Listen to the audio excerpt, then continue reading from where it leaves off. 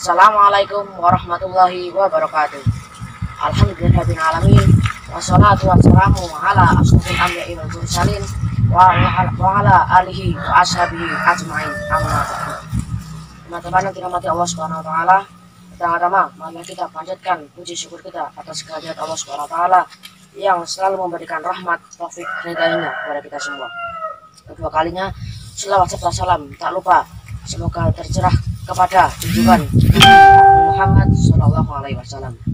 Teman-teman yang dirahmati Allah Subhanahu Wa Taala, pada kesempatan kali ini saya akan menyampaikan kultum tentang akhlak kepada kedua orang tua dan guru. Tentu dan pada kita sudah tahu bahwa setiap manusia memiliki orang tua. Tidak ada manusia yang terakhir tanpa orang tua. Oleh karena itu kita harus menghormati dan berbakti kepadanya. Renungkan firman Allah Subhanahu wa taala dalam Quran surat An-Nisa ayat 36. A'udzu billahi minasyaitonir rajim. Bismillahirrahmanirrahim. Wa'budullaha wa la tusyriku bihi say'a wa bil walidaini ihsana.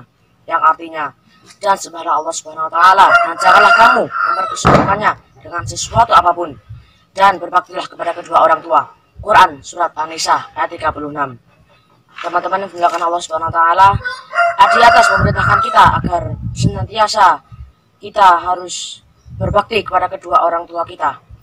Pada satu hari, sahabat Rasulullah SAW bertanya kepada Rasulullah, Ya Rasulullah, siapakah yang dapat mengenalkan dariku ya Rasulullah? Rasulullah SAW menjawab, ibumu. Lalu siapa lagi ya Rasul? Rasul menjawab, ibumu. Lalu siapa lagi ya Rasulullah? Rasul pun menjawab, ibumu. Lalu siapa lagi? Karena Rasul menjawab, ayahmu. Karena itulah, kita jangan durhaka kepada kedua orang tua kita. Terlebih lagi ibu kita yang telah melahirkan kita.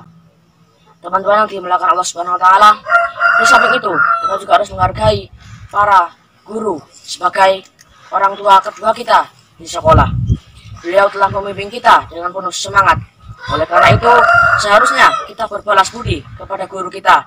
Sebagaimana Rasulullah SAW bersabda, bersabda, La yaskurullah hamalla yaskurun nas.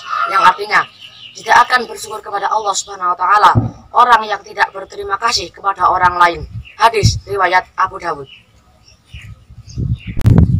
Teman-teman yang dirahmati Allah Subhanahu wa taala, kita dapat melihat bahwa kesuksesan seorang seperti presiden, gubernur, bupati, dokter, dan lain-lain dapat diraih dengan adanya peran guru. Oleh karena itu, kita juga harus berterima kasih kepada dan menghormati kepada guru-guru kita. Teman-teman yang dirahmati Allah Subhanahu wa taala, demikian kultum singkat yang bisa saya sampaikan. Mohon salah ada salah mohon maaf. Jalan-jalan ke Jawa Barat. Jangan lupa ke Pulau Seribu.